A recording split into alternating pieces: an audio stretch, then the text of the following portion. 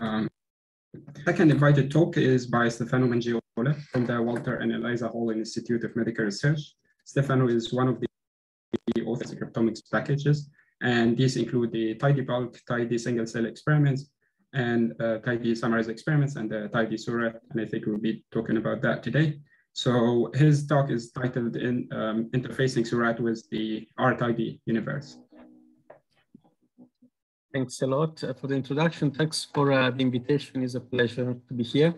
Um, so I will take opportunity today um, beyond the invitation about talking uh, about our uh, latest uh, publication, which is Tidy Seurat, to talk about more in general um, tidy single, single cell experiment adapters, as we have developed a uh, few adapters for the bioconductor framework as well. So I'm uh, talking today, but uh, most of this work and our communication and our workshop is done together with Maria Doyle, which also um, contributes to the package development. Okay, so uh, before I start, uh, just a couple of resources. You can find more information about uh, this uh, transcriptomics in R. Uh, we just opened a blog where we um, we wrote a post about the in-depth description of, of this uh, ecosystem, um, and we will uh, continue to do so. You can find it at this link here. Uh, we have um, uh, published a couple of papers about uh, bulk and these uh, tidy Seurat. Obviously, we go in depth about those over there. And we also have online few workshops that we have done uh, the last couple of years. Uh, those that material is accessible through the blog and are all uh, themselves are packages so you can uh, download them and, and um, execute them uh, to learn more about this. Okay, so I will start to describe what are the two parts of the tidy transcriptomics. One is the tidy part and the other one is a transcriptomic uh, analysis infrastructure in R. Uh, so the uh, TidyR is uh, a um, philosophy and a way to uh, program in R, and as well is, um, is uh, contributed with a full ecosystem of software called the Tidyverse. Uh, the four, four principle that they state is to reuse existing data structure, uh, compose um, simple function with pipe, use functional programming, and design for humans. So the probably the main data structure that we see and we use uh, with the Tidyverse is a data frame that they will um, implement through Tibble in a, a user-friendly uh, manner. And uh, the data frame is uh, described by having observation as rows and variables as columns.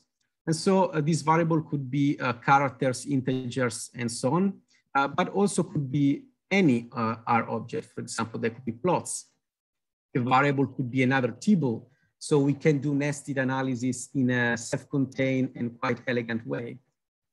Uh, could, for example, be a linear model, but could also be a Seurat object, a single cell object, for example. So you can see here that this data frame is uh, very flexible and almost becomes a database where we can organize our uh, data and our analysis in a very uh, relational way. Uh, just to mention, uh, most of you for sure will know, but uh, a brief difference between the base R and tidy R. Um, for example, we might have a data frame and we might want to subset some of the rows. Uh, in uh, it's typical to do a data frame equal data frame where data frame class is equal A. Um, and we might want to create new columns such as data frame X is equal to data frame A times data frame B. And we might decide to plot uh, two of those columns. We can plot data frame X and data frame Y.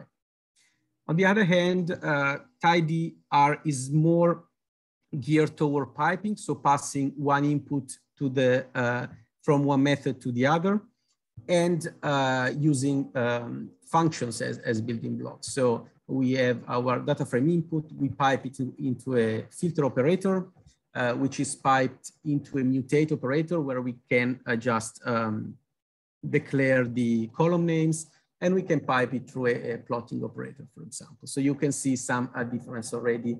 We have a bit less redundancy and a more streamlined uh, way to manipulate and visualize data.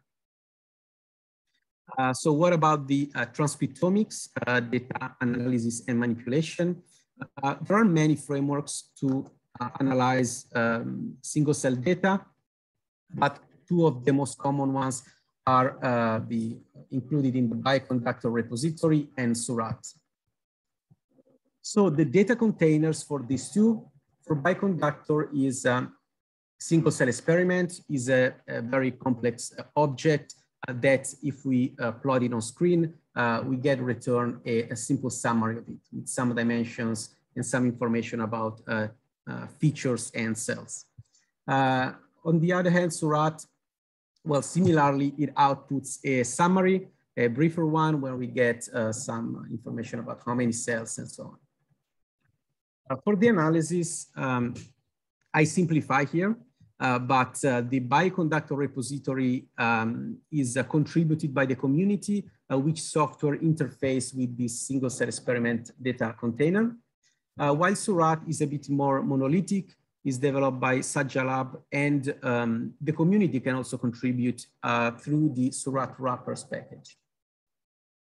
Um, what about manipulation? Uh, they uh, look um, quite different. So we have to learn some of the uh, domain specific grammar. for example, if we want to expose uh, the uh, cell-wise information, we might call meta, uh, call data in this case, and for Seurat double brackets. If we want to retrieve UMAP dimensions, for example, for further calculation analysis or whatnot visualization, we call reduced dimension or embedding for Seurat. Uh, we can subset some uh, cells from our data set uh, with the function called subset in both cases. However, in for a single cell experiment, we have a double comma here. we can modify in a trivial way the metadata in the same manner between the two frameworks. However, for example, when we want to do some more complex uh, manipulation, like is typical in real world analysis, um, again, there is a, a, slightly different syntax. So we, we let's say we have a, um, our uh, single cell data and we want to join some information about, let's say, the clinical um, profile of patients. And we want to continue our analysis uh, just for the cell that have this uh, clinical information associated with those. And so we might do update the metadata and do a C-bind with our uh, clinical uh, data set and we have to match, of course, the rows of the two data sets, um, you know, for a successful integration. And we can um, run another command subset to just filter out the cells that do not have clinical information. On the other hand, for Seurat, again, we update the metadata, uh, but because the metadata of Seurat is itself a data frame, which is compatible with tidyverse, we might do directly a left join, specifying sample as joining column. Uh, but again, we have to subset then the uh, cell the cells that do not have the information. So that's a very uh, simple uh, comparison here. Uh, all right, so what happens when we uh, import tidy Seurat and tidy single cell experiment? Well, these two objects will be shown to us in a different way. So the cell-wise information will, will be exposed to us when we print the object on screen. Uh, and this object is a, a tibble abstraction. So it looks like a data frame that we can interact with. On the header, there are some summary information. And you can see here as uh, the uh, bioconductor representation and Seurat representation uh, look the same, except this uh, header, of course, it, it uh, mentions what object is underneath. Um, so we are going toward a uh, harmonization uh, of these two objects through a uh, tidy, um, uh, a tidy structure. What about the analysis? Well, the analysis are the same as before. So these two packages, they do not uh, do analysis. So whatever uh, workflow you were using before, you keep using it um, in exactly the same way as you are still working with single cell experiment and Seurat object underneath. Uh, what about data manipulation? Uh, again, for example, uh, if we want to expose the cell-wise information, uh, those are exposed by default. We just uh, input data into console. Uh, if we want to select some columns for further analysis, we just use the powerful select command from uh, dplyr. Uh, we can filter using the filter uh, command, mutate, and so on. And all these uh, functions, they output uh, valid single cell experiment and Seurat objects. So you can continue with uh, your flow. Uh, and if we want to do some more complex operation, that this is just an example, but in this case, uh, we want to integrate clinical information and filter, where in this case, for example, we have an inner join function where it just do that. We are integrating cohort information by sample and selecting just the cells that are common between the two uh, data sets. And again, the manipulation looks exactly the same for a single cell experiment or Seurat um, as we are using, uh, harmonizing the two through a um, TidyR uh, lens. Um, just to, um, for completeness, I list here all the operators available. Uh, we have most of the operators that are available for uh, dplyr and TidyR. We also have join features, uh, so we can join transcript-wise information to our table for doing, again, computation and visualization uh, if we wish so. Uh, and also we can input this object directly to ggplot and plotly uh, to do custom visualizations.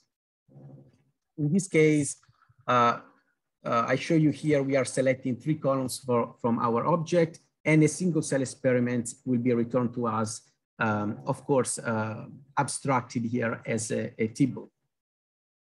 Uh, we can merge data set as we would do with uh, data frames. So we can simply uh, bind, ro bind rows to different um, single cell experiment objects in this case, and uh, we will just uh, add one to the other. Of course, this is a very trivial example, a bit silly. We are just adding a data set to itself, but you can imagine the applications. As I mentioned, we can join features um, in this case, two of these genes from uh, uh, this assay. And you can see here that uh, this transcript abundance has been added to our cell-wise information. And then we can do calculation, manipulation, and visualization based on those as well. And also, uh, I won't go too much into detail, but for who is familiar with NEST and MAP, this concept is also abstracted for uh, this single cell container. As you can see here, we can group uh, these uh, tidy Seurat uh, according with, for example, cell type, and we might do an operation of each of those uh, subsets uh, quite elegantly and in self-contained Okay, so after this brief introduction, let's just clarify a couple of concepts before we go on. So um, what are tidy Seurat and uh, tidy single cell experiments? So they are not data containers. Uh, you will keep working on with the Seurat and single cell data containers. They, they are just abstractions, so interfaces we can uh, interact with. And they are not analysis tools. You will uh, keep going with your um, familiar uh, workflows without changing, changing a comma. They are that abstraction, as I mentioned, and they do manipulation, integration, and visualization. So they, we can still use whatever we were using before. So nothing is taken away, uh, but now we have a link to the huge uh, tidyverse ecosystem. And so the question, can we go from a tidy Seurat, for example, to a Seurat and vice versa, is not relevant here, as we never leave Seurat or single cell experiment to start with.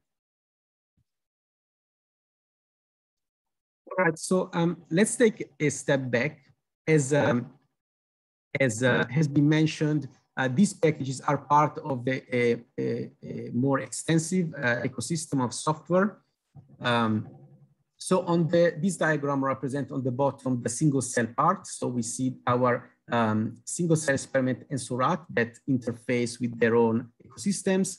Uh, but thanks to our adapt adapters, they can also now interface with Tidyverse. Uh, this is also true for bulk, RNA. Um, the uh, summarized experiment with tidy summarized experiment, they it can now interface with tidyverse and be manipulated with the powerful tools. Uh, and for bulk RNA, we also developed a, a very uh, extensive uh, workflow, uh, analysis workflow. which is based on tidy principle. Uh, this workflow includes a lot of uh, publicly available tools, and uh, it includes uh, most of the functionality uh, we might you might want to use for a standard workflow. Aggregate duplicates, keep abundant, keep variable, scale abundance, dimensionality reduction, clustering, um, removal of unwanted variation, uh, test differential abundance, deconvolution and some testing of deconvolution uh, of tissue composition, uh, for example, with survival analysis and, and whatnot. Uh, quite extensive set of gene enrichment over representation and rank. And so all these um, wrappers um, uh, um, give the possibility to execute all the common software in a very streamlined way um, that can be piped one to the other. Okay, so uh, the uh, second part of the presentation I will dedicate to an example of a real world analysis that I've recently done uh, for a uh, paper about breast cancer, where the prob problem was after we have annotated the data and do all sorts of uh, all sorts of analysis, we decided to focus more on uh, T gamma delta cells, which were not uh, very well um, characterized uh, for breast cancer in single cell studies. And so we have our um, Seurat object that is represented as such. Uh, we might uh, uh, import tidy Seurat. Now our cell-wise information is exposed to us, as you can see here, as I showed you before. And what we have done is to try to identify a signature for these uh, T gamma delta cells um, that are not very present in uh, publicly available signature databases. And so we have um, from uh, the literature taking uh, a very uh, simple signatures with uh, six genes. And in this case, we can use join feature to add the transcript abundance of those genes to our object. So you can see here. And now we can proceed and do calculation with it uh, and do uh, all sorts of manipulations. So in this case, uh, we want to uh, calculate the signatures. So this publication from Pizzolato um, propose a sort of formula for combining uh, these genes into a signature. As you can see here, it's very simple. We use mutate to create a new column in our uh, uh, representation that will be added to the cell metadata. Uh, the call name is signature score, and we simply do a um, rescaling some of some of the genes and subtract them uh, with the rescaling of uh, some uh, other genes. For example, uh, T gamma delta RCD8 negative, as you can uh, read here. Uh, and we obtain this signature score column now, and we can use now for further analysis.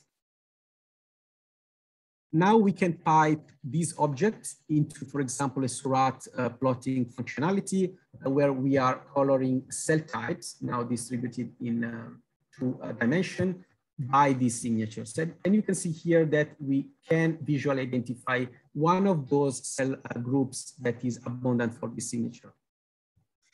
Uh, but because now this Seurat representation can also uh, be uh, interfaced with ggplot. It's quite easy to replicate this plot with ggplot. And uh, of course, uh, this is quite useful when we want to customize further our, our plot and not be uh, kind of restraining away from the ad hoc visualization of the different platforms.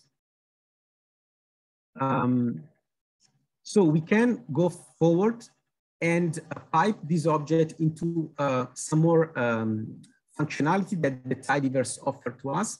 For example, we might want to gate uh, these cells for a quick uh, reanalysis of those cells to see what uh, characteristic they have. And so again, we uh, mutate, so we add a new column called gate, and we use tidygate uh, that takes as input our UMAP columns, and we color by the signature, and we can interact and draw a gate uh, across these sets. And so, uh, as you can see here, a new column will be created called gate, uh, which in include in this case one uh, for the cells that are inside the gate. okay, so uh, we can go on and pipe, uh, as you might imagine now, the cells into a filter, um, uh, a filter operator, uh, and filter just the cells that are inside the gate we have just defined. And this tidy gate also gives the possibility to, to, recall the gate we have just drawn for reproducibility. Okay, just to conclude, we can pipe this to this subset of cells uh, to a, uh, for a quick reanalysis. Of course, this will require a full reclustering, uh, but sometimes is used to have flexible language to um, get quick, quickly to explore the data and uh, take further decisions. In this case, we can quickly reanalyze this group of cells, uh, finding variable features again, uh, reintegrating reprojecting these cells on two dimension, reclustering and so on.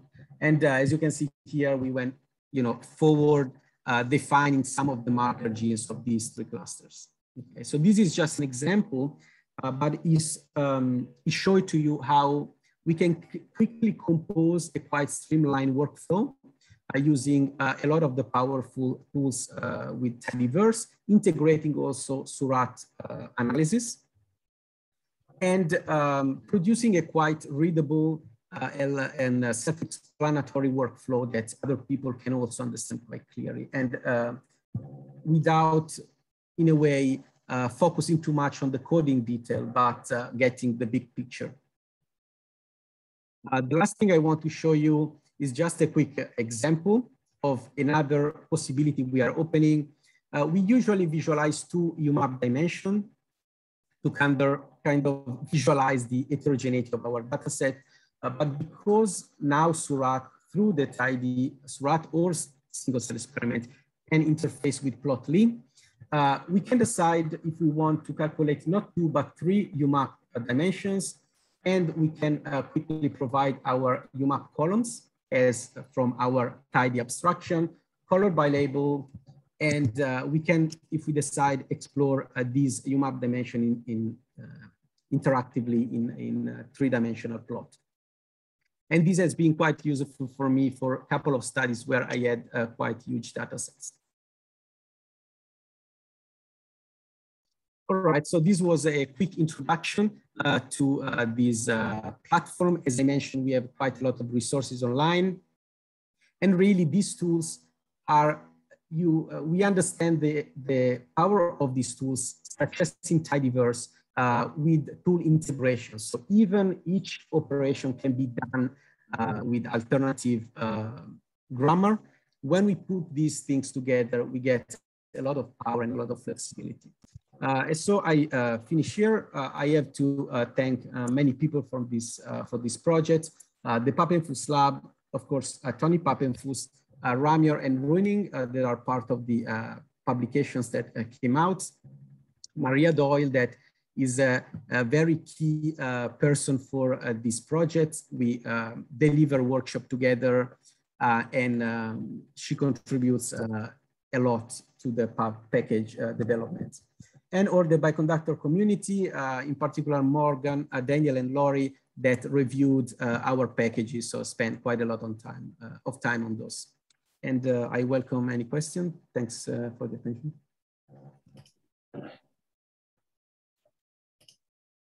Thanks, Stefano. Uh, we actually have a couple of questions here. So um, the first question, and I'm sure it's on the mind of many of the, the listeners, is that, that all these powerful advantages that you get from using the uh, from the the, the tidy uh, style of writing, does it come at in at some expense, like uh, speed or uh, memory? Yeah. Uh, so the answer is no, because uh, for single cell, by default, we um, we just interact with the, the cell-wise information. So really, those, uh, the data set can reach easily millions of rows without any problem. And we can add if we decide to transmit information, but the answer there is no.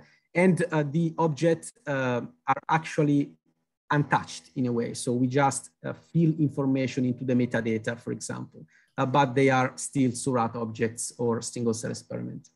Uh, for um, the bulk data, we um, expose both transcript and sample information Uh, and so we get uh, easily quite huge data set if we analyze TCGA and whatnot. Uh, so uh, they became very quick uh, for all operation we might want to do of integration uh, and manipulation. And we have optimized them. So definitely now are very quite quick. So I would say no. the the advantage surely, um, you know, they are they are more than the, than the little overhead. Okay, great. Uh, there is an interesting discussion going on on the Slack channel now about the native pipe as opposed to the magrittr pipe. So would you like to weigh in?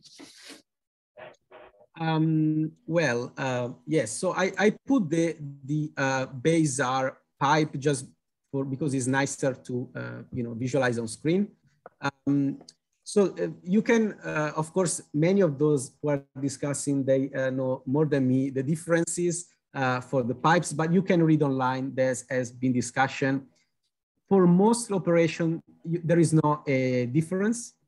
Uh, so because most of the tidyverse, they accept the input as first argument. Of course, uh, you know, there are different overheads, but it's quite detailed. Um, I don't think um, makes huge difference, at least for my workflows. It's just prettier to put on a presentation rather than uh, the other one. But I I commonly use the, uh, the, the magrittr uh, pipe, but um, it's just for uh, historical reason, personally. Okay, so another question here from Matt Ritchie. Uh, the tidy gate function looks useful for exploratory analysis, but would present some challenges from a reproducibility standpoint when writing methods for a paper. Um, how, so how do you use it in practice? Uh, well, tidy gate, so I haven't showed it here, but once you draw the gate, uh, the little gate list object is saved into temporary files and you receive a message um, that tells you you can use that object into the function and the gate will be drawn, will be reproduced as you have done it. So you don't need to draw the gate multiple times. So you get that object, import into your whatever project, and that uh, the gate function will read that object and draw the gate for you. Uh, so this um, should this is uh, guarantees reproducibility. Uh, you know, if you have the same input, you get the same output in this case. I hope uh, it answered the question. Okay, great. So uh, thank you again.